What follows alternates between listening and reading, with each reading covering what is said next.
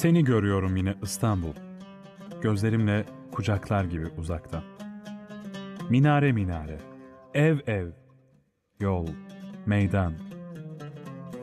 Geliyor boğaz içinden doğru bir iskeleden kalkan vapurun sesi.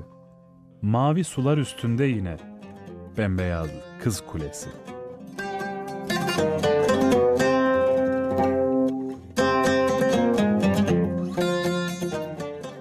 İstanbul'un muhteşem silüetinde önemli bir yere sahip.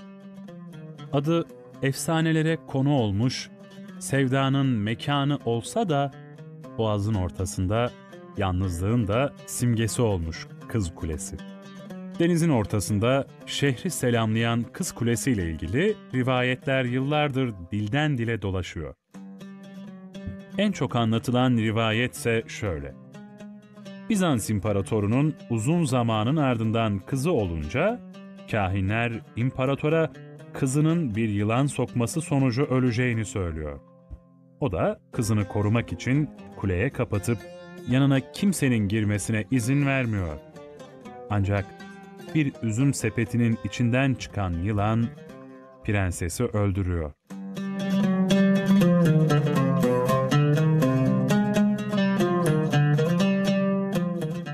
Antik çağda bir dönem Tor de Landros, Landros'un kulesi ismiyle ün yapmıştır.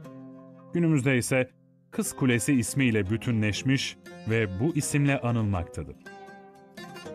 Kız Kulesi'nin geçmişi 2500 yıl öncesine dayanıyor. İstanbul'un tarihine eş bir tarih yaşamış ve bu kentin yaşadıklarına şahitlik yapmıştır. Antik çağda başlayan geçmişiyle eski Yunan'dan Bizans İmparatorluğu'na, Bizans'tan Osmanlı'ya tüm tarihi dönemlerde var olarak günümüze kadar gelmiştir.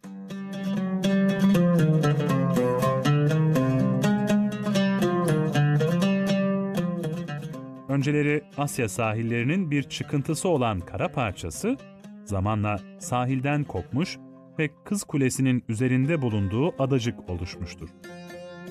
Atinalı komutan Alkibades, boğaza giren gemileri denetlemek ve vergi almak amacıyla bu küçük ada üzerine bir kule inşa ettirir. Sarayburnu'nun bulunduğu yerden kulenin bulunduğu adaya zincir gerilir ve kule böylece boğazın giriş ve çıkışlarını kontrol eden bir gümrük istasyonu haline gelir. Fetihten sonra ise Fatih Sultan Mehmet bu küçük kaleyi yıktırır ve yerine taştan, etrafı mazgallarla çevrili küçük bir kalecik yaptırır. Ancak kule Osmanlı döneminde savunma kalesi olmaktan çok bir gösteri platformu olarak kullanılmış.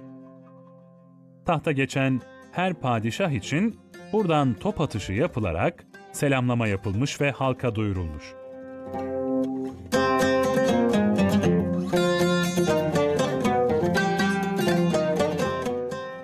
Yıl 1830. Şehirde kolera salgını baş gösterir. Salgın şehre yayılmasın diye kule karantina hastanesine dönüştürülür. Bu sayede salgında yayılmadan önlenir. Kulenin günümüze kadar uzanan son hali Sultan II. Mahmut dönemine denk geliyor. Osmanlı barok tarzında yapılan bu onarımda kuleye dilimli kubbe ve kubbe üzerinde yükselen bayrak direği ilave edilir.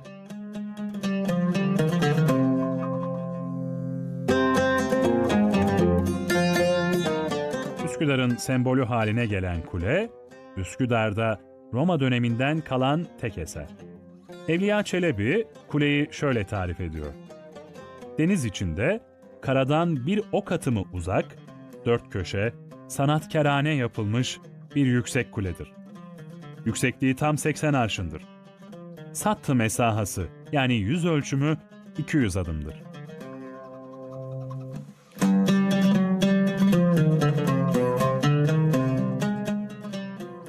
İki taraftan kapısı vardır. İstanbul denince akla gelen ilk şeylerden birisidir Kız Kulesi. İsmi, konumu ve efsaneleriyle asırlara meydan okuyarak günümüze gelen bu güzel eser, onu ziyaret eden herkesin hafızasında unutulmaz anlar bırakmaya devam ediyor.